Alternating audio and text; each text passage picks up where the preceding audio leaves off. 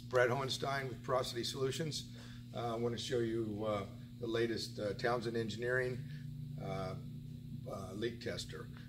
What we've got here, we're going to test engine blocks. This one's built to test engine blocks. We, we can build a build a leak test system for any type of casting. Let's take a look at the screen here real quick, and then we'll show you the test. Um, this this is set up to test a small block Chevy, big block Chevy, and LS block Chevrolet. Um, so, so when you get a casting, of course, you don't want to build the casting or build the engine just to, to, to find out that your casting leaks. So after machining, uh, you can put, put it on the test stand, and in five minutes, you got your result. So let, us run through a test here. So this has all, all kinds of safety features on it. So there's light curtains on each side. You have to use both fingers to hold down until it clamps. If somebody was to put their hand through the side there, the machine would automatically stop but we're going to hold down here until it clamps on the top. Okay, and it shows up here part clamped on the screen.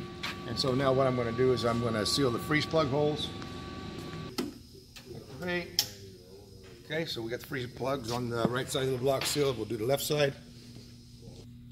And we're sealed, ready for test. Okay, we've got a green start button up here.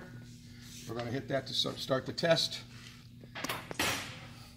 and the machine itself will stabilize. It takes about uh, 15 seconds to stabilize and uh, the pressure inside the block. It's going to test the left side first and then the right. Total cycle time is five minutes. Uh, so we'll go here and let it go ahead and do its test. Okay, so now the, the left uh, the, the, left side has uh, has tested and it shows a leak rate of uh, 14.9 and it's rejecting that because that's a, that's above the uh, specification but it's below the uh, impreg specification. So this part can be sent out for impregnation to be sealed so it can tell you that or tell you if it's good to go ahead and test. So right now it's going to run the right side of the test and we'll wait just a few seconds and let that happen. Okay so now it's finished the uh, right side of the of the block and it had a zero leak rate on the right side and we get an accept.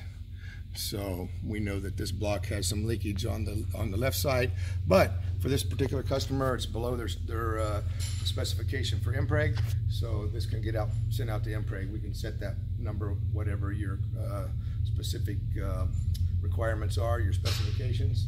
Uh, also on the panel uh, you can, without having to run through the whole test, we could we could push to test the left side only if we just wanted to test the left side or the right side only while it's clamped up.